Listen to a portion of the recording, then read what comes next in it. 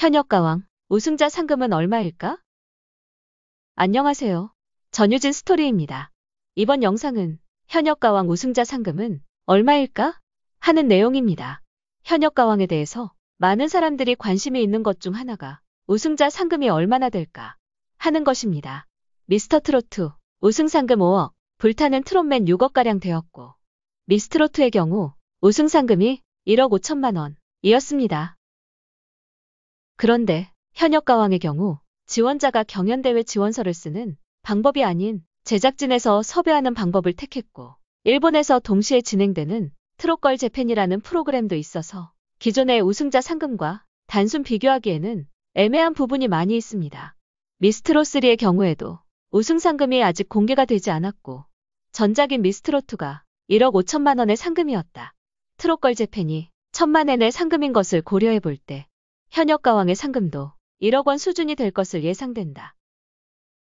하지만 단순히 1등 상금 외에 추가 혜택이 있을 것으로 보이는데 한일 가왕전에서 우승할 경우 추가로 2억 원 수준의 상금을 주고 현역 가왕 티오피칠의 경우 일본에서의 음원 발매와 유명 작곡가의 곡을 주고 일본 방송 출연과 한일 합동 콘서트의 기회까지 부여될 것으로 보인다. 그러니까 총 상금 3억 원 정도의 규모의 일본 활동을 할 수 있도록 파격적인 지원과 혜택이 주어질 가능성이 크다는 예측이다. 미스트로사마 비교했을 때 단순히 우승 상금의 규모가 얼마냐 이런 점도 중요하겠지만 한국 현역 가수들의 입장에서는 일본 진출의 발판이 되는 기회를 가질 수 있는 것이 훨씬 미래지향적이고 가수로서의 커리어에 의미 있는 혜택이 될 전망이다.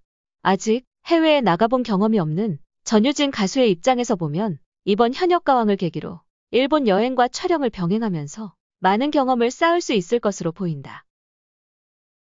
현역 가왕 티오피칠이 선정되면 한일 가왕전 경연 중이라도 얼마든지 일본 현지 촬영을 할 가능성이 있고 이는 경연 프로그램에서 한일전이라는 처음 벌어지는 그림들을 볼 수 있을 것이고 새로운 제작 시스템이고 그 혜택을 티오피칠이 처음 받게 되는 것이다.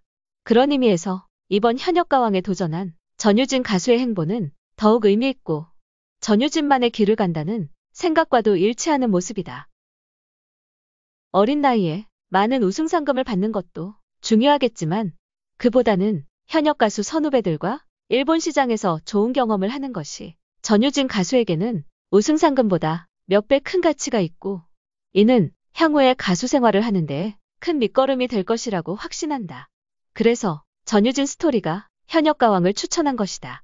오늘 영상은 여기까지고요. 다음 영상에서 또 뵐게요. 감사합니다.